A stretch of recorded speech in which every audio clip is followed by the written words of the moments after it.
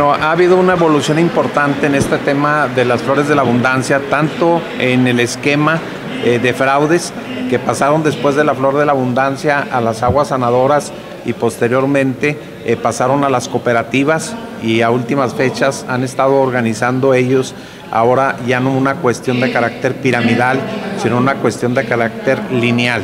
especialmente en, en, una de las instituciones que se dio este fraude a últimas fechas, que fue en el Instituto Mexicano del Seguro Social.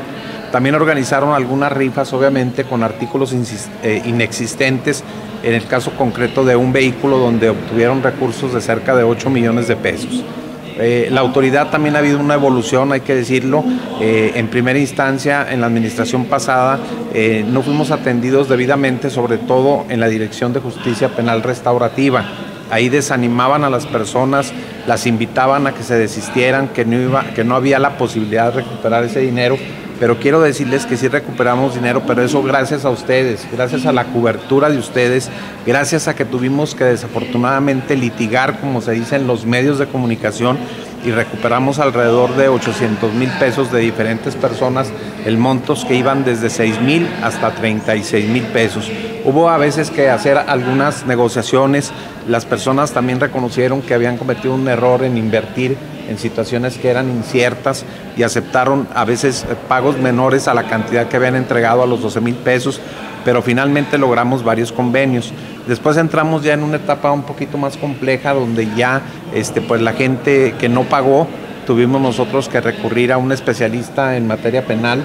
para empezar a integrar las carpetas de investigación. Ahí de nueva cuenta tuvimos un acercamiento ya con las nuevas autoridades, con el fiscal general, con la vicefiscal general, con los diferentes vicefiscales de derechos humanos, de control de procesos, el de jurídico también de, de la fiscalía, y hubo el compromiso de que ellos iban a integrar las carpetas y las iban a poner a disposición de los jueces de control para que ellos determinaran si había o no había un delito,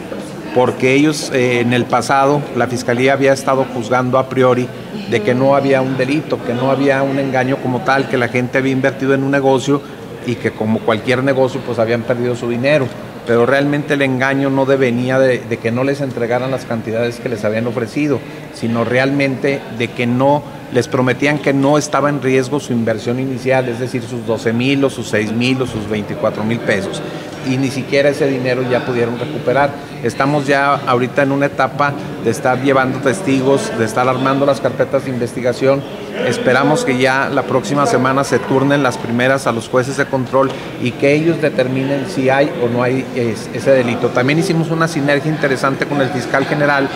para que él, a través del Ejecutivo, propusiera al Congreso del Estado una modificación al Código Penal como se hizo en la ciudad de Querétaro sobre el fraude maquinado, porque aquí la laguna que tenemos jurídicamente es la que ha permitido que estos fraudes se sigan dando de esta manera y que haya impunidad y que, se, y que haya corrupción también, porque bueno, realmente no se ha hecho absolutamente nada. Repito, lo que se logró es gracias a ustedes, a los medios de comunicación, a la cobertura que